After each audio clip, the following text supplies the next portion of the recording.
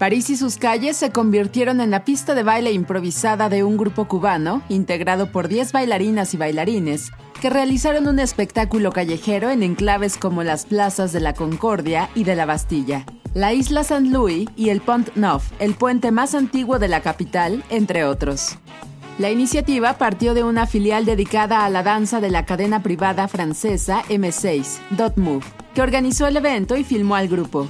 Según fuentes de la televisora M6, una de las ideas es fusionar las culturas cubana y francesa, en un momento en el que Cuba se muestra cada vez más abierta al mundo.